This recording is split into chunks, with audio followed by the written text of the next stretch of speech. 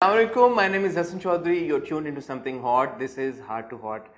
आज मैं थोड़ा सा नर्वस हूँ बिकॉज़ मेरे सामने जो बैठी हुई है not only is she incredibly gorgeous she is incredibly talented and besides everything else, her journey as just a human being is so inspirational कि आई एम श्योर आप लोग में से बहुत सारे लोगों को ऑलरेडी पता होगा जिनको नहीं पता होगा उनके लिए भी आज ये एक बड़ी मेजर रेवोल्यूशन होगी मेरे साथ मौजूद हैं इस वक्त the one and the only Laila ji Laila Wasti अलैक्म Laila ji Walaikum assalam. What a nice little introduction you did there.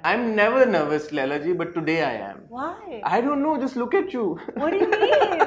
I woke up like this. Did you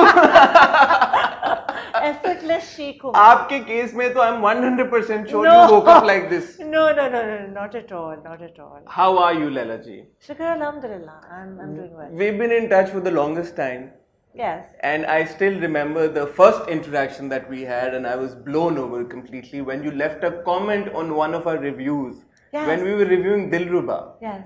That was such a like a sweet and kind gesture. Oh. कि आपने review देखा and just like हाँ. you know you didn't even give it a thought and No. you just left a comment. Yeah, yeah, yeah. What made you leave that I, I don't comment know. that I day? mean, I think that was the first time I saw you and Amina, and I liked the review, and I genuinely felt that I should leave a comment. That's all. that was very sweet of you. Thank you. But Laila ji going back to your debut uh, मैंने काफ़ी इसके ऊपर oh, research की अच्छा। और मैंने ढूंढा सारी इन्फॉर्मेशन के बारे में। ऑफ़ कोर्स बीइंग आपकी रिसर्च कैसी है। Being born to legends I'd say of course without a shadow of a doubt Tara Wasti ji Jawan Wasti साहब you on record said that आपके लिए एक्टर्स या आर्टिस्ट जैसे लोगों के लिए कोई डॉक्टर का बेटा होता है तो right. उनके लिए डॉक्टर्स के साथ इंटरेक्ट करना कोई बड़ी चीज़ नहीं होती घर में आना जाना होता है तो बचपन से ही आपने देखा Right. आपके घर में बड़े बड़े स्टार्स भी आ रहे थे जी. बड़े बड़े एक्टर्स लेजेंड सब आ रहे थे तो आप खान भी आते थे. अच्छा इमरान खान भी आते बहुत छोटी थी. इमरान खान भी आते थे तो जो अब प्राइम मिनिस्टर है हमारे मुल्क के जी। तो आपके लिए वो वाली जो एक होता ना कि introduction to the glamour world और शो बिज़नेस में एंट्री वो तो कोई ज़्यादा मुश्किल नहीं थी because you were only 16 when you were offered a role as Anarkali which you turn down no actually so मुझे एक्टिंग करनी ही नहीं थी. I was very shy and I think आप आपके पेरेंट्स का जो प्रोफेशन होता है आप उसको थोड़ा सा फॉर ग्रांटेड ले लेते हैं? I was very shy very quiet and Nusrat Thakur sahab ने uh, अम्मी अबू के साथ मुझे लाहौर में देखा and I think my mother was doing a project with him I sir हम अनारकली ओरिजिनल वाला कर रहे हैं एंड हमें आपकी बेटी चाहिए. तो आई थिंक उन लोगों ने हाँ बोल दिया विदाउट आस्किंग मी एंड अम्मा ने जब मुझे कहा मैंने कहा नहीं अम्मा मैं तो नहीं कर पाऊँगी. एक्टिंग तो मैं सोच भी नहीं सकती। I didn't have the confidence at all तो उन्होंने कहा हमने तो हाँ बोल दिया अब तो नहीं मना कर सकते। नुसरत ठाकुर साहब इतने बड़े डायरेक्टर तो वो इतना बड़ा पलंदा आया फिर स्क्रिप्ट का।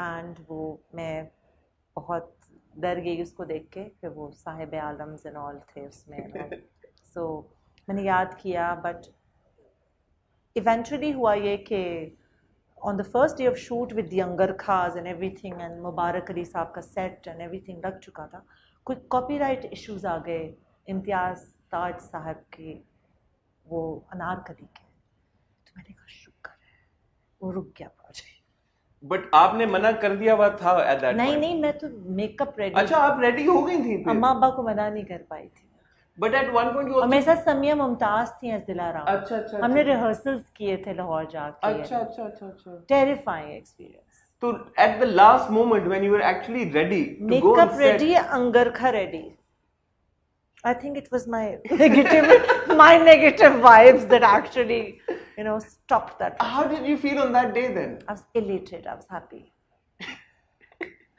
seriously mister dodge the bullet Yeah, yeah. Seriously, I was, I was very happy, and I did. My mother wasn't happy, but yeah, yeah. My father was okay with it. Yeah. But as a 16 year old, what did you want to become? a teacher. And you've taught as well.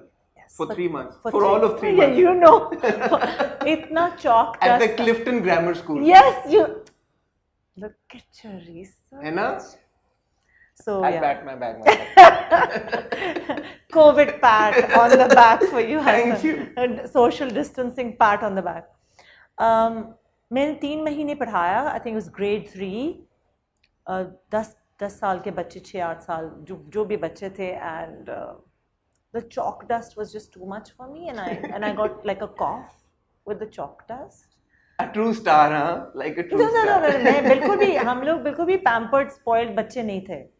बिल्कुल भी नहीं थे।